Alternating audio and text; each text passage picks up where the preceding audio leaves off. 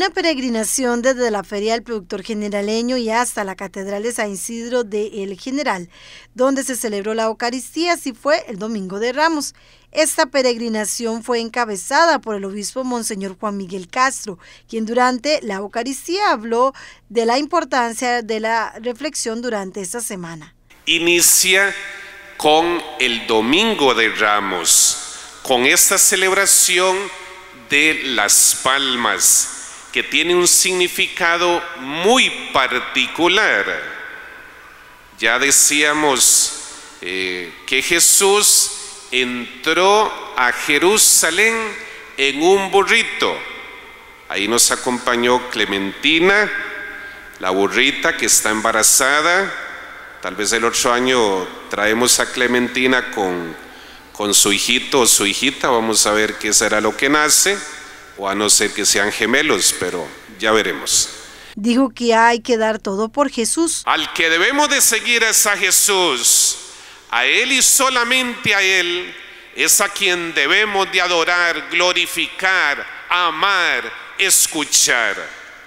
Segundo, sigamos a Jesús y hasta seamos capaces de dar la vida por Él a gastarnos y a desgastarnos, a dar nuestro tiempo y todos los dones que tenemos y que Dios nos ha regalado, a darlos por el servicio del reino. Monseñor habló de la importancia de estos días. La Semana Santa es una de las semanas más importantes del año porque en esa semana meditamos los misterios de la pasión, muerte y resurrección de nuestro Señor Jesucristo, misterio central en la fe de todo cristiano.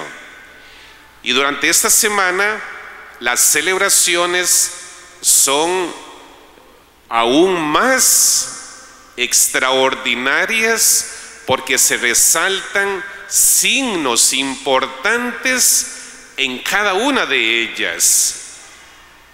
Una invitación, queridos hermanos, para que así como la llamamos Semana Santa, la podamos vivir así. Por ello considera que es necesario hacer silencio y centrarse en lo que vale la pena. En medio del bullicio que hay a nuestro alrededor y en esa Semana Santa que hay mucho bullicio a nuestro alrededor, procuremos hacer silencio. Procuremos centrarnos en lo que verdaderamente debemos de centrar. Habrá otros tiempos, habrá otras semanas, habrá otros días para hacer otras cosas. Pero que esa semana nos centremos verdaderamente para estar a solas con el Señor y así fortalecernos para caminar siempre junto a Él.